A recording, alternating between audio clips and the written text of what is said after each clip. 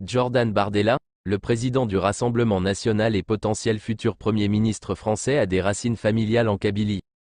Cette information prend rapidement de l'ampleur sur le réseau social X. Le jeune leader de l'extrême droite française, qui n'a pas caché ses origines italiennes, n'a pourtant jamais évoqué publiquement ses liens avec l'Algérie, mais il s'avère que son arrière-grand-père maternel n'est autre qu'un travailleur immigré algérien qui s'est installé en France au début des années 1930.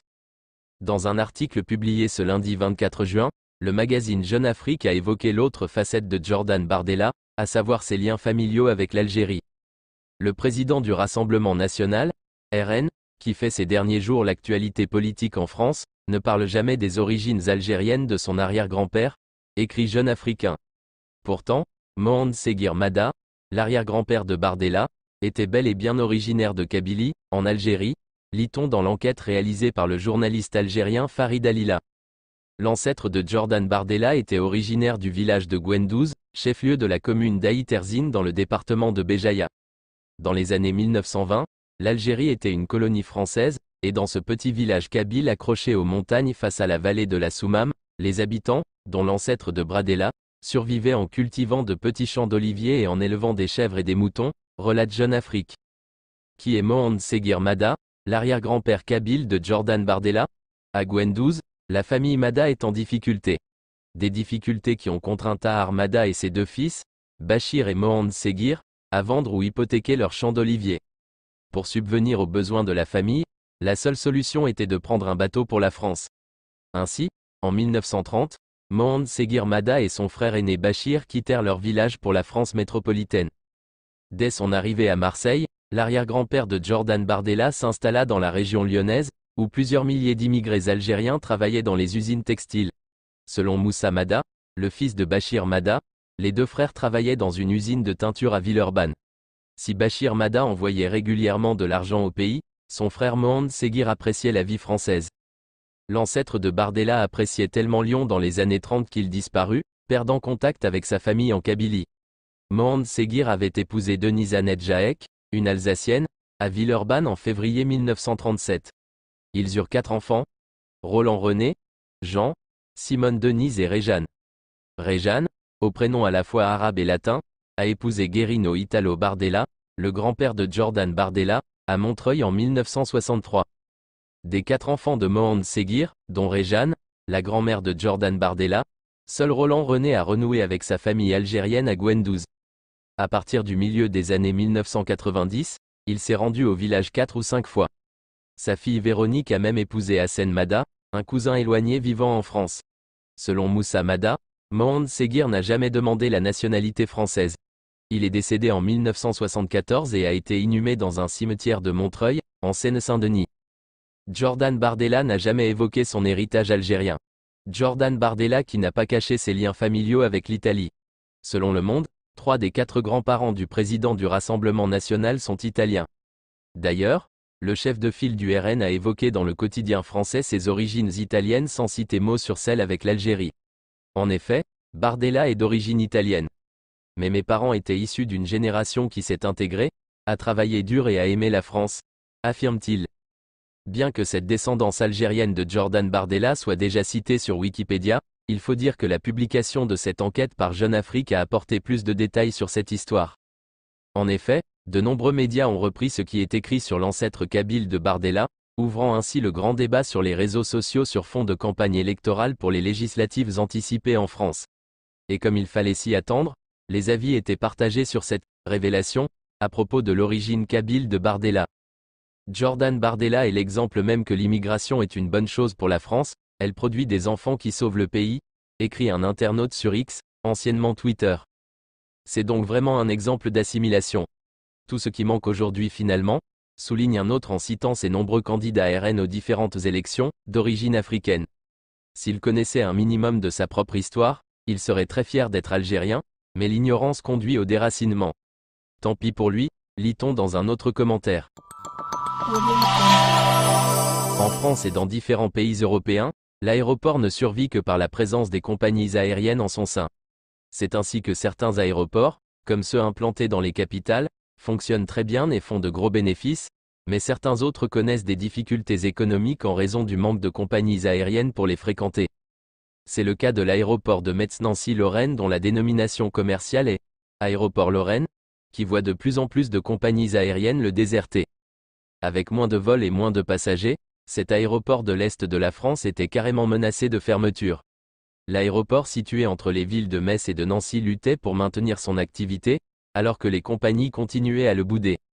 En dernier, c'est la compagnie Twinjet qui a mis fin à sa ligne vers l'aéroport de Marseille, aggravant en plus la situation de l'aéroport de Metz-Nancy-Lorraine.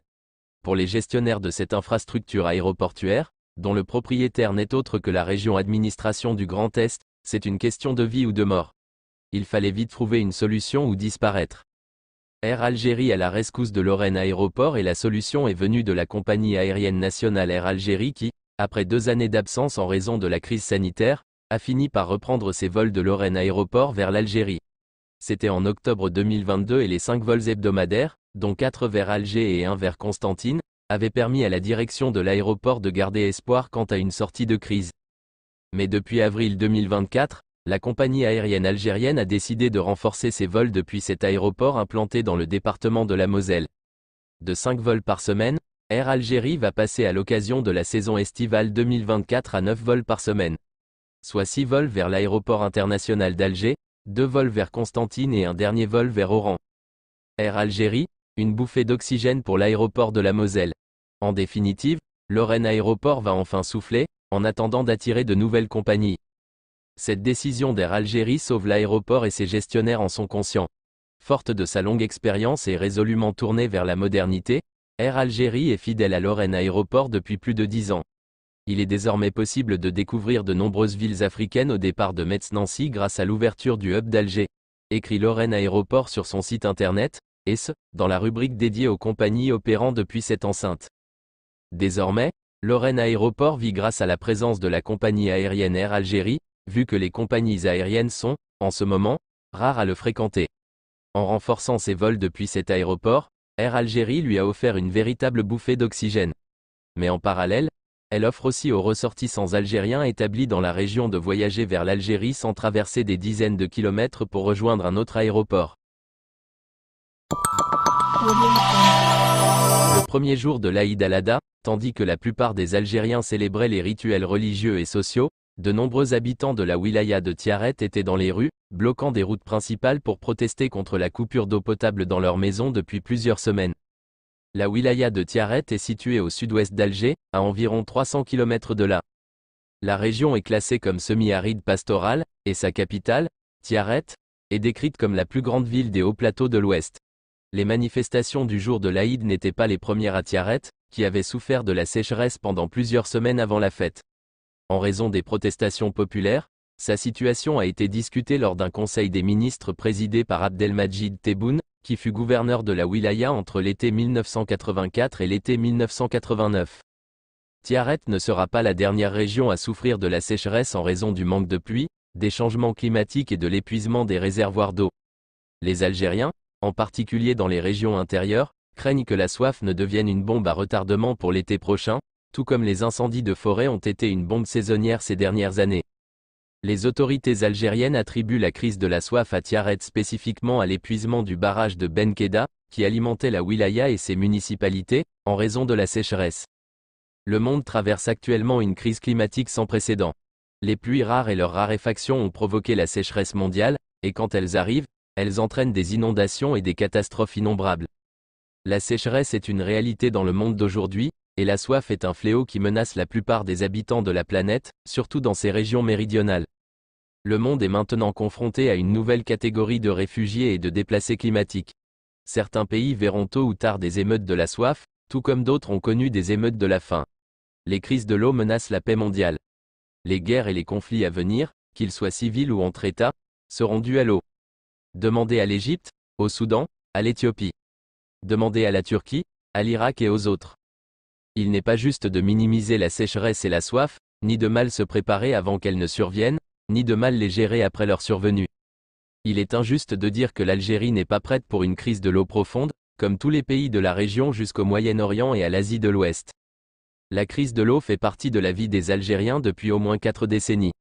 Une présence qui en a fait un phénomène social, même artistique, résumé par l'artiste comique Salah Aougraout dans une chanson satirique, Le mauvais temps arrive, alors construisons, qui a connu une grande popularité et a récolté des millions de vues et de likes sur les plateformes de médias sociaux.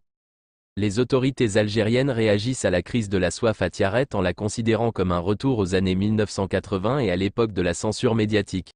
Sans les réseaux sociaux, les habitants des vilayas voisines n'auraient pas entendu parler des événements à Tiaret. Outre la censure médiatique, il y a beaucoup de dysfonctionnements et de répétitions du passé dans la façon dont les autorités traitent les événements. Le principal dysfonctionnement. Comme d'habitude, les autorités ont tardé à réagir même si Tiaret se plaignait tôt de la soif et que les habitants attendaient environ un mois avant de protester. Si les manifestations n'avaient pas été aussi étendues et qu'il était devenu impossible de les dissimuler, il aurait été difficile pour le Conseil des ministres de ne pas prendre en compte la soif de Tiaret. Le deuxième dysfonctionnement. Le milieu politique et médiatique en Algérie a préféré louer les ordres du président Tebboune au ministre de l'Intérieur et de l'Irrigation, le 3 de ce mois, plutôt que de se concentrer sur la crise de la soif et de poser des questions à ce sujet. Pourtant, les ordres de Tebboune au ministre pour trouver des solutions dans les 48 heures sont irréalistes, pour une crise qui a pris des années à s'accumuler et nécessitera des années de planification et de travail sérieux pour être résolue radicalement. Le troisième dysfonctionnement. Les ministres de l'Intérieur et de l'Irrigation se sont immédiatement rendus à Tiaret et ont émis des ordres et des directives pour résoudre le problème de l'eau. Mais parce que tout l'effort est irréaliste, L'Aïd est arrivé et le problème persiste alors que le mois touche à sa fin, sans signe que le problème soit résolu. Le quatrième dysfonctionnement. Le discours officiel et médiatique évite de regarder la crise de la soif en dehors de la wilaya de Tiaret, bien que le phénomène semble être en passe de devenir national, régional et mondial. Et il le deviendra dans quelques années. Le traitement de la situation à Tiaret découle-t-il de la crainte de perturber les prochaines élections présidentielles? Cette méthode de gestion est au cœur de l'administration en Algérie, quelle que soit la situation politique du pays. Mais les prochaines élections auront leur part dans l'explication de la situation. Il est bien connu que les élections paralysent généralement l'Algérie. À l'époque d'Abdelaziz Bouteflika, les affaires des gens étaient bloquées et le pays cessait de fonctionner parce que le président préférait retarder la spéculation sur sa candidature à un autre mandat. L'Algérie vit aujourd'hui une situation similaire. Tous les regards sont tournés vers le palais de la présidence et la question en suspens. Tebboune se présentera-t-il ou non? Bien que la question ne mérite pas d'être posée car la réponse est connue depuis le début de son premier mandat présidentiel.